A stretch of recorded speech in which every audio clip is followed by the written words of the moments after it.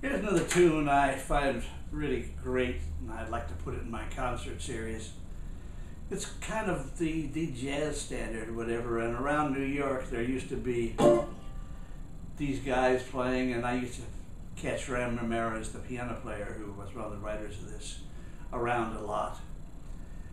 It's called Lover Man.